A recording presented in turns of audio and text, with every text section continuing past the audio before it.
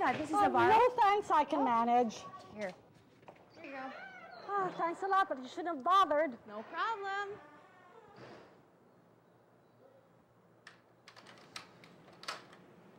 Principal Ambrose? I'm sorry. Uh, Good morning. You startled me there. Sit down, sit down. Thank you, Uh, sir. Kobe Bryant and the Lakers uh, got me pulled. So, uh, uh, how's my number one draft pick teacher? I'm doing well, thank you. Good, good. Uh, I just want to uh, remind you that uh, you will be handling a homeroom section as its advisor and that you also have subject classes to handle. Oh, yes, I'm already aware of these Uh, conditions, sir. Good, good. You see, it's a past teacher. Um, Kind of fell in love too much with that homeroom section. So uh, the best way for her to cut off the emotional ties is to resign. What, what do you mean, sir? Those students need much time because they are the slow learners. Um, wait, that was too harsh. They were the distracted ones. They were more into the fun side of learning. Okay. I see. But don't worry, don't worry. I'm sure that you can handle them very, very well.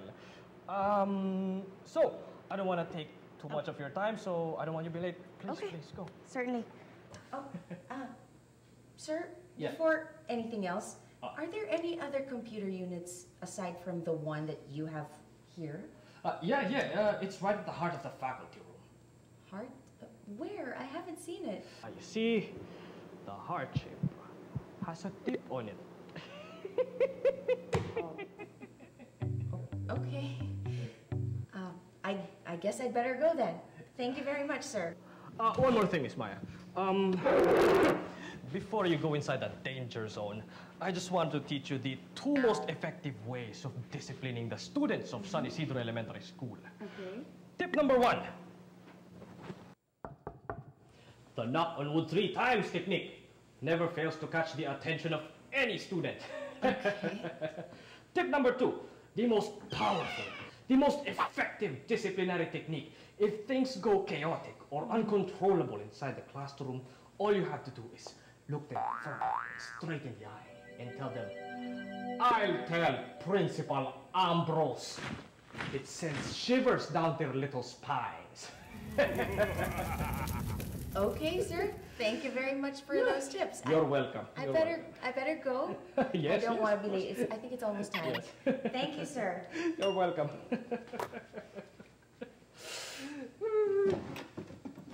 Where was I?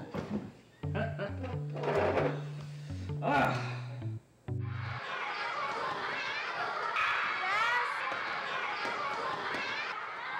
Yes! I'll tell on you to Principal Ambrose. Yes! I'll tell on you to Principal Ambrose.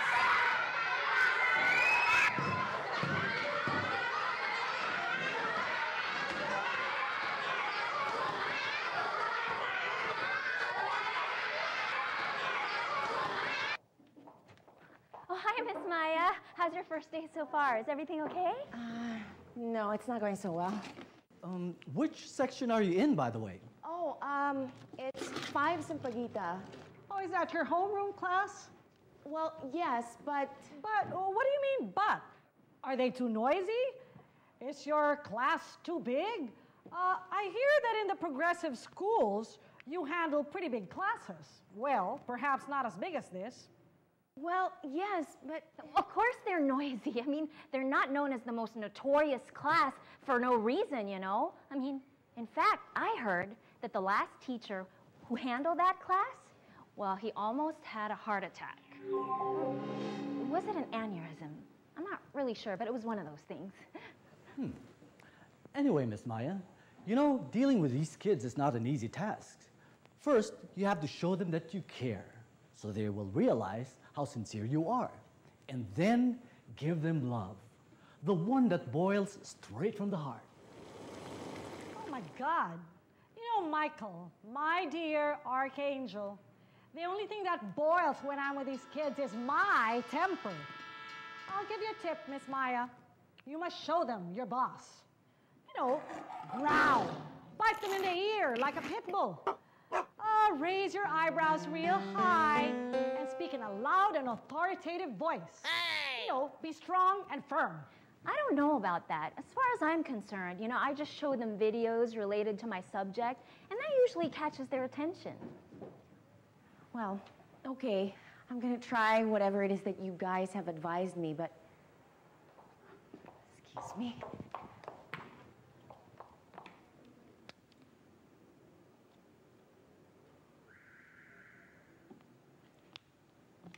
Anyway, thank you for the advice.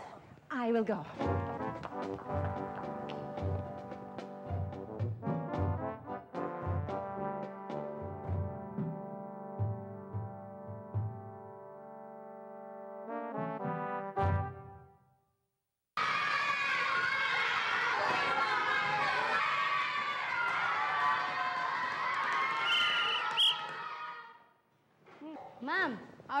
Subject is English, not PE.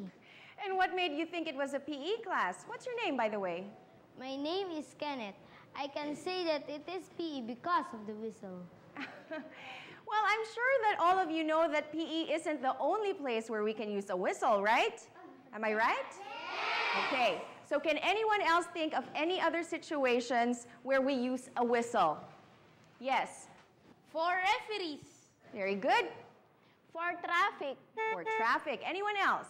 Yes, in the back. for parlor games, For parlor games. Very good. And since you mentioned something about parlor games, we are going to play one right now. Okay, but before we play any games, please rearrange your chairs in the proper positions.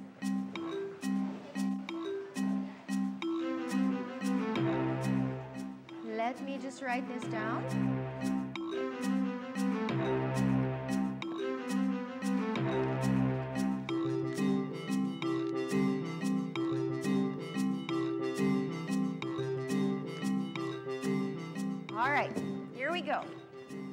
Okay, so I don't think we're going to fit, so maybe it's better if we move all of the chairs to the side.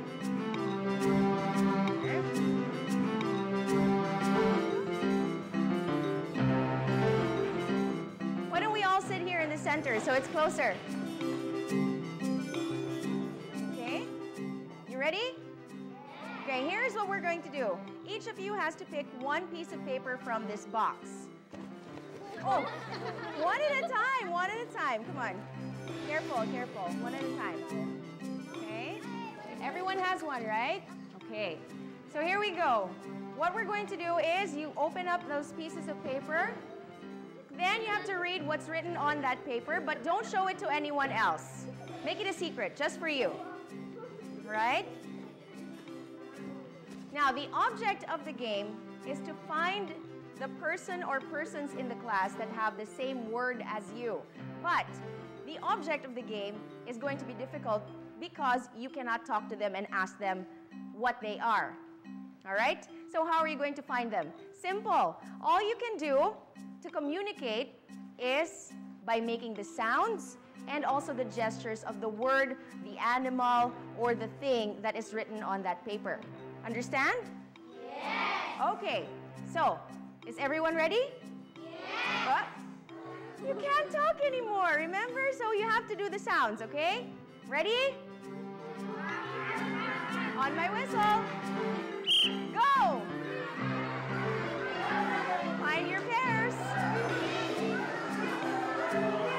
Okay. So no talking. Just make sure that when you find your partner, you go off to the side. Have to find your pair. Okay, we have some pairs here. Okay, very good. You have the pairs over there.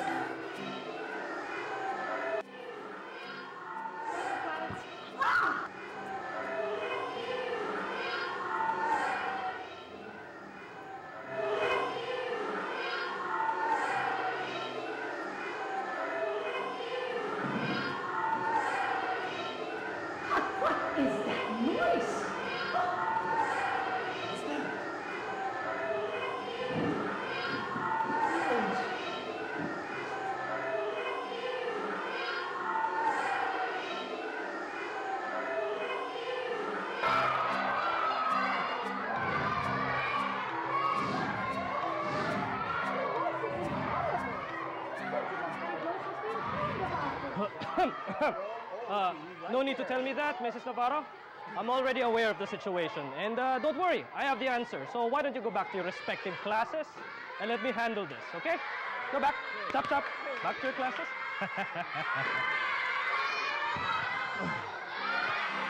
Make sure that you find your partners. Careful, no hitting. Good morning, class. Sit down, sit down. I told you it never fails. Uh,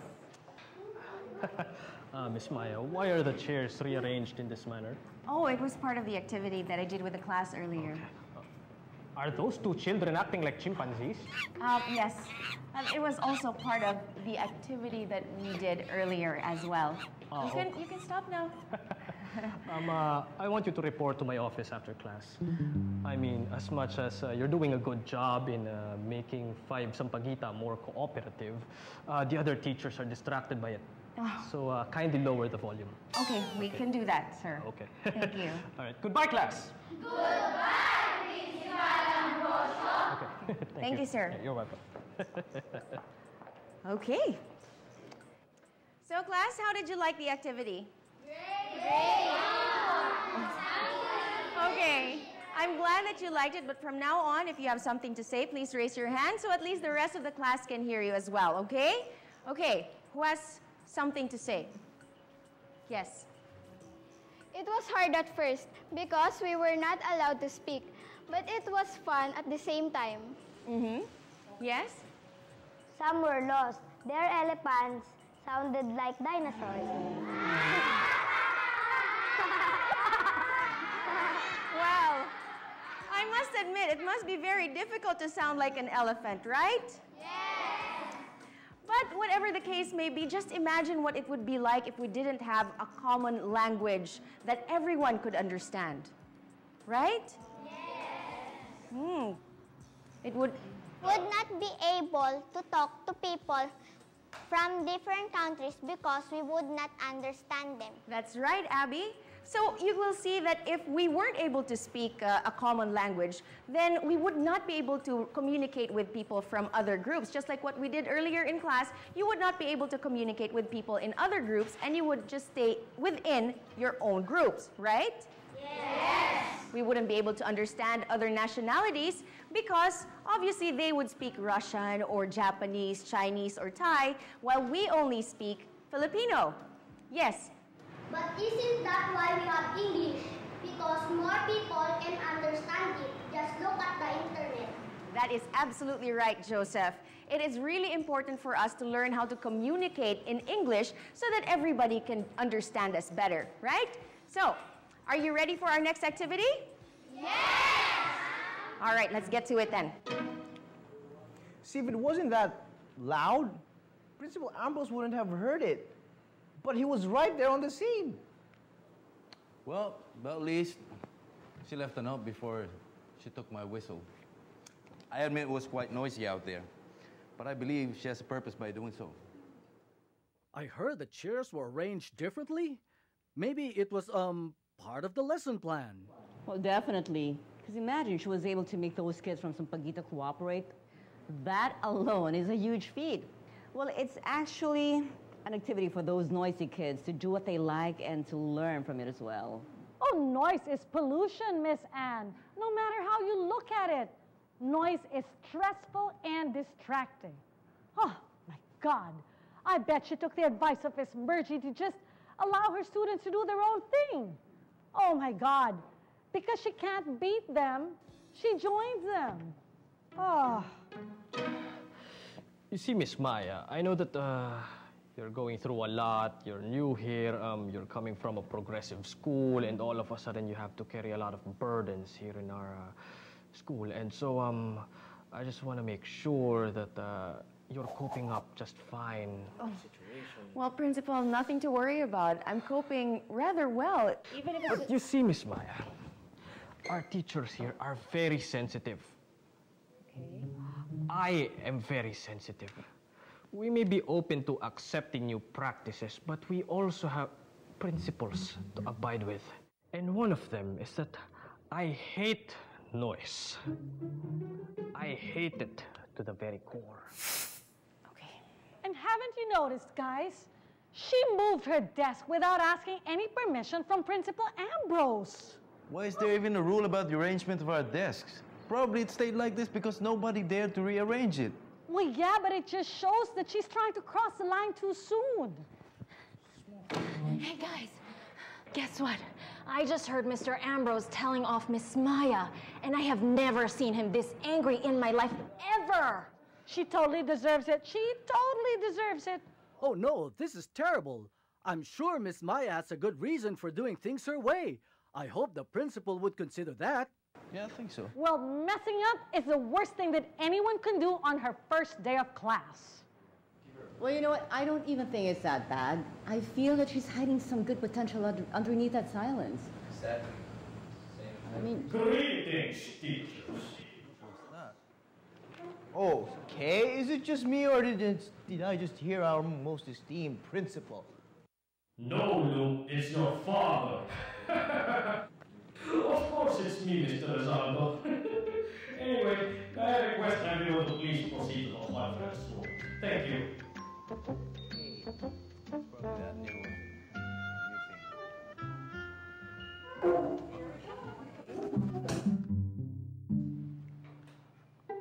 Ah, teachers, teachers, come in, come in. Thank you for uh, coming, uh, even at such short notice. Come in, come in. Have a seat, have a seat. Join us, join us.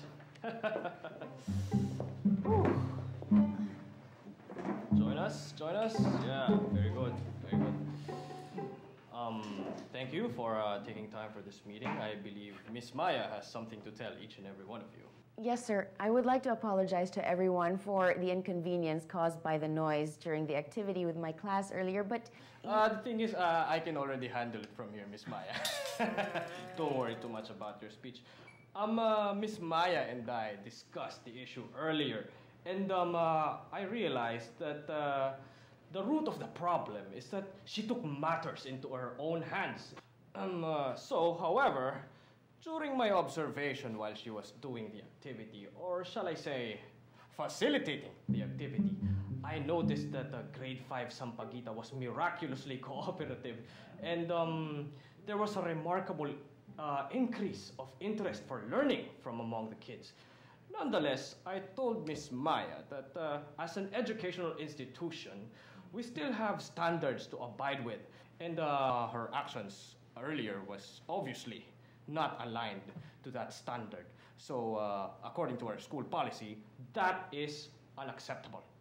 Then again, uh, while Miss Maya and I were talking, uh, she justified and told me that uh, given a standard curriculum, we can always uh, adjust by uh, introducing strategies and techniques of teaching that match a student's method of learning. And um, based on my observations in uh, grade 5 Sampaguita this morning, it worked. They were participative.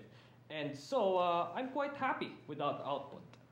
So, uh, having said all that and uh, putting all those theories together, I have decided not to impose any sanctions on Miss Maya on how she disciplined her students. We, as teachers, should be creative for our students to be creative as well. She showed us that um, in order to discipline unruly students, we should get them engaged in fun and productive learning activities.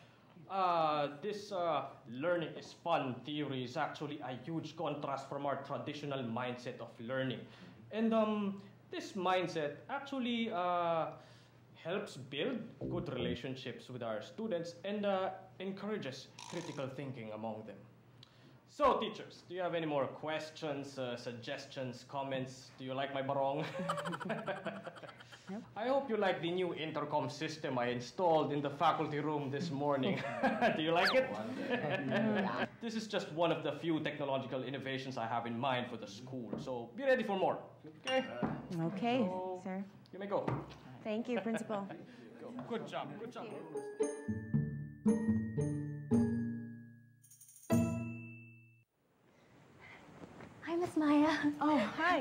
This is where I keep some of my most prized magazines. You know, mostly old issues, um, just stuff that I keep as memorabilia and all that. If you want to borrow some, you're more than welcome to. You know, they're just right here, okay? Okay. I'll see you later. Alright. It's right at the heart of the faculty. Where is it? I haven't seen it. See, the heart has a tip on it.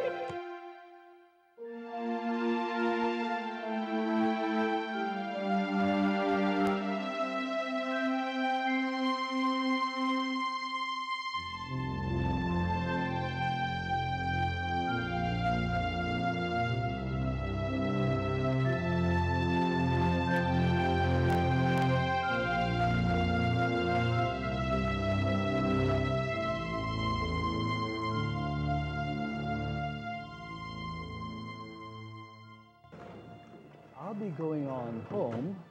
Aren't you finished yet? No, not yet. Uh, maybe I'll just stay here for a bit.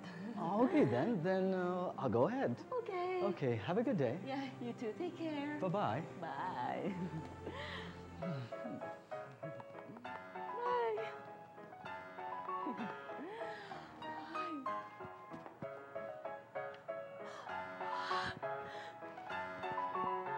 Very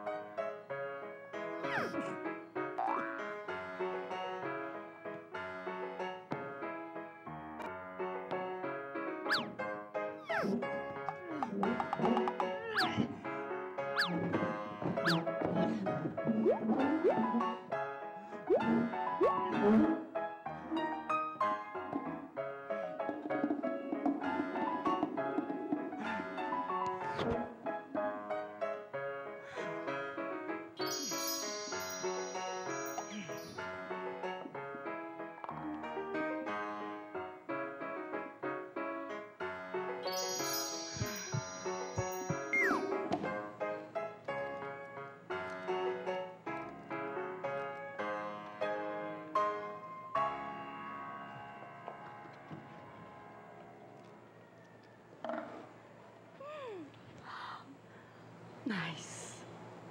Nice.